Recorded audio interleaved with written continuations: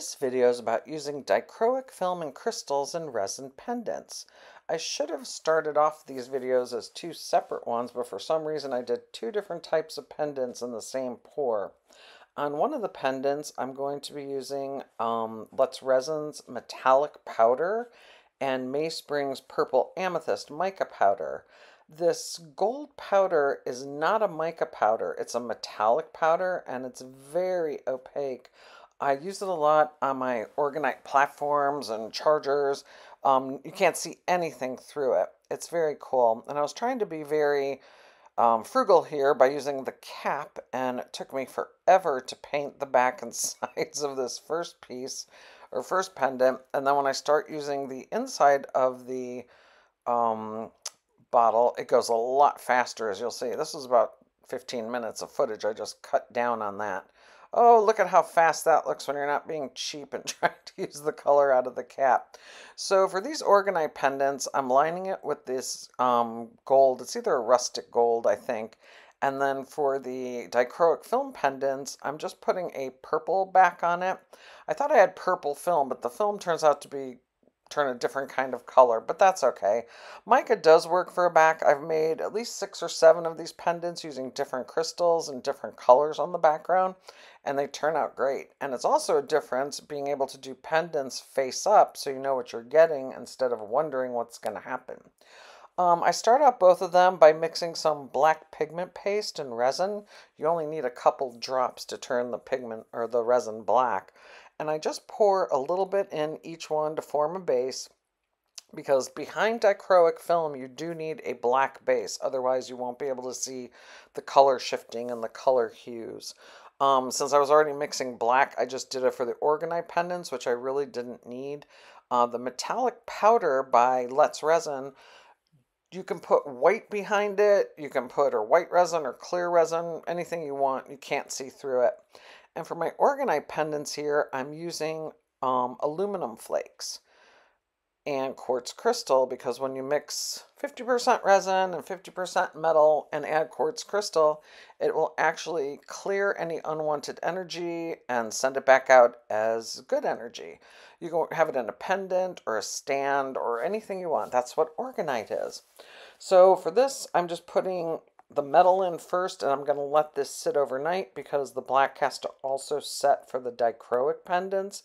So this is just the base of my pendants. So coming back the next day, I'm starting with some clear resin. And this is just, I think we use JDiction one-to-one high gloss resin. Pretty inexpensive, pretty easy to use, not a lot of bubbles, not that it matters for this. But you want to pour a little bit of a clear base, and as you see, I've already pre-cut the strips of film and used my hole punch to fit over the little hole. What's great about having the preformed holes is you can just slide some string through it. You don't have to drill any holes and it's perfect. And as you see, placing the dichroic film on top of the black, you can already see the colors popping out. And unfortunately, I do not remember which film this is of ours. We only have three different ones. It's not the Northern Lights, I know that. So it's one of the other two. Um, but I'll put a link to all three of them in the description below. But basically for the dichroic film pendants, you pour the black base, let it sit, put the film in, top coat it with clear resin. That's it. And look what a beautiful little pendant. So now I'm going to start on the orgonite ones, which, again, I don't know why I did these two different pours in the same video. Um, poured a little bit too much resin there. I'm just pouring a little bit of resin to hold my stones, and I'm going to be using pyrite crystals here, pyrite chips. And the first thing that I do, it knocks one into the dichroics pour. So, of course, if something bad's going to happen, it'll always happen. So, I'm moving it around so I don't do that again. Um, basically, with these rough crystal fronts, I'm just putting it in enough resin so it glues it down. I don't want the crystals to be submerged because I think that looks really cheap when you have crystals submerged in resin. Um, unless they're large and you're trying to contain them. But this pendant took, or these two pendants actually took quite a bit of time. This original video was over 30 minutes long and I cut it down to less than seven minutes. But for the first layer, you kind of pat the crystals down. It's going to take up the resin. I want the crystals to be coming off the front of the pendant. I want it to have a rough feel, not a smooth feel.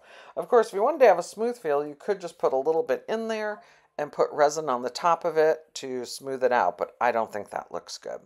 So I ended up doing, adding crystals, I don't know how many times, six or seven times, and you have to go in and smash them down, make sure they go around the little hole where the string is going to go. Up there I am again. And you don't want a lot of resin showing on these, so if there's extra resin, you just keep putting more crystals on it and jamming it in there till it works. Then you can use a toothpick to jam some more in there. Then towards the end of it, I take a toothpick and just drizzle resin around the top of it just to make sure that the crystals will stick together. Resin is an excellent glue. It is stronger than any glue out there. Nothing will get away from it. I do this on the top of my orgonite chargers as well when it has crystals on the top.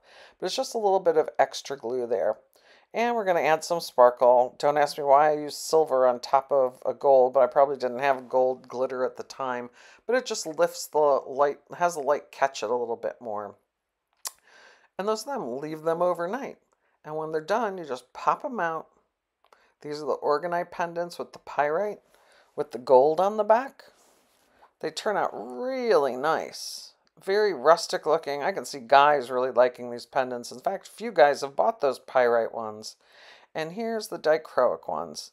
Again, this film doesn't really match the purple mica back that I chose, but it's okay. The color from these things are just wonderful.